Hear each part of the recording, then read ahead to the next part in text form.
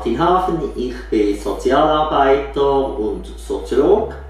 Ich bin angestellt an der Hochschule Luzern, an der Fachhochschule für Soziale Arbeit in dem Themenbereich Soziologie, Systemtheorie, Prävention, Frühförderung.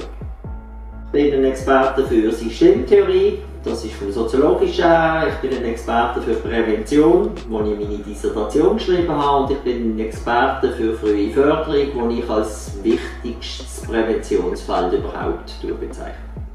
Bezüglich Kindermitbestimmung habe ich prinzipiell noch nie etwas Eigenes gemacht.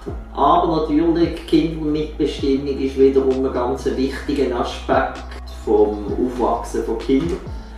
Sei das schon im Frühbereich, wo es auch Formen von Kindermitbestimmung schon gibt, zum Beispiel im Rahmen von Kindertagesstätten, äh, gibt es solche Modelle, aber dann vor allem natürlich im höheren Alter, wenn sie in die Schule kommen, bis sie zum Erwachsenen sind. Ich finde das enorm wichtig, weil Kinder sind ein ganz wichtiger Teil von unserer Gesellschaft und sie sollten unsere Gesellschaft auch können mitgestalten auch wenn sie das im politischen Prozess noch nicht können, solange wir das Stimmrechtsalter erst bei Erwachsenen ansetzen.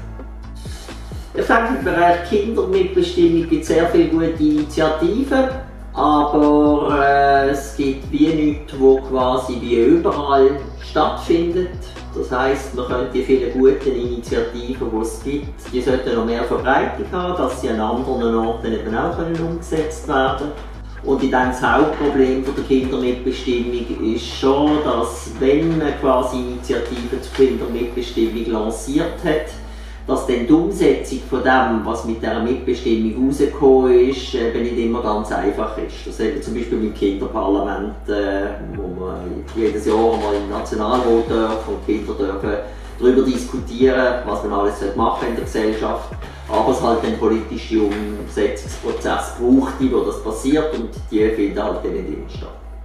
Ich glaube, Kinder können sich sehr gut zusammentun und sie können sich natürlich auch zusammentun mit Erwachsenen, die, sich mit, die sie bei dem unterstützen.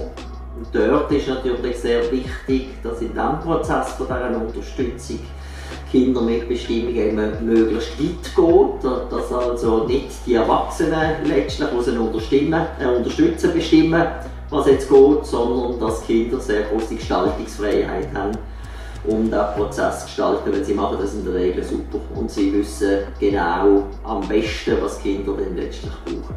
Der Vorteil für Kinder, wenn sie das machen können, liegt natürlich erstens einmal darin, dass sie selber können Einfluss nehmen auf das, was passiert. Und zweitens, weil sie können Einfluss nehmen, dass das ihr Selbstwertgefühl und ihre Selbstwirksamkeit verstärken, was ganz wichtige Faktoren sind, um sich dann eben auch später im Erwachsenenleben an politischen Prozessen oder an sozialen Prozessen aktiv zu beteiligen und nicht einfach nur als Konsumenten das letztlich entgegenzunehmen, was halt äh, von anderen vorgegeben wird. Eine Theorie von der Prävention äh, die fragt sich ja, wie können verschiedene Probleme verhindert werden. Das Besondere an meiner Theorie ist, dass ich quasi nicht ein bestimmtes Problem im Fokus hatte, zum Beispiel Suchtprävention, also wie kann ich Sucht verhindern, sondern ich habe mich eigentlich gefragt, was ist das Gemeinsame von Suchtprävention und Gewaltprävention und Verbrechensprävention und Unfallprävention. So, und habe dann äh, in meiner Doktorarbeit die Gemeinsamkeiten und Differenzen von den verschiedenen Präventionsfeldern herausgearbeitet. Eine Erkenntnis ist zum Beispiel, dass die meisten Probleme quasi wie schon vorgespurt werden. Nicht definitiv, aber zu einem Teil vorgespurt werden durch das, was in der frühen Kindheit passiert.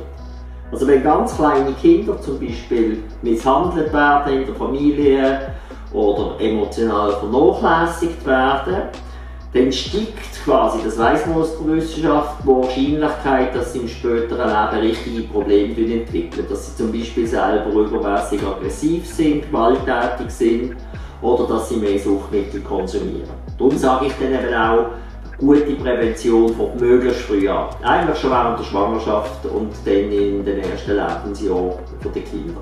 Was aber nicht heisst, dass man später nicht auch in der Schule zum Beispiel sollte Prävention betreiben, Suchtprävention zum Beispiel.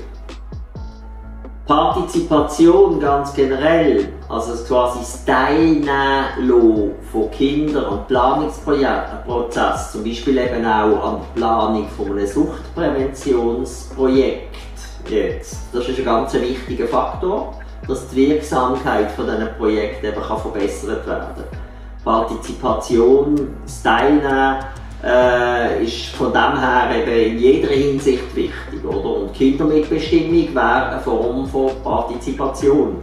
Also von dem her äh, könnte man sagen, Kindermitbestimmung wäre ein wichtiges Element von einer wirkungsvollen Prävention. Wenn das nach dem, äh, wie es eben, wenn man es eben machen sollte, wenn das so gestaltet ist. Dass nicht die Erwachsenen sagen, was quasi gut ist für Kinder, sondern Kinder eben auch das Mitspracherecht haben und auch können mitgestalten das, was ihr hier macht, ist eine ausgebaute Form von Kindermitbestimmung und Kindergestaltung und dementsprechend äh, ganz wertvolles Unterfangen, um eben auch andere zu motivieren, sich zu engagieren für die Gemeinschaft und sich in solche Mitbestimmungsprozesse auch einbinden zu lassen, wenn es die Gelegenheit gibt.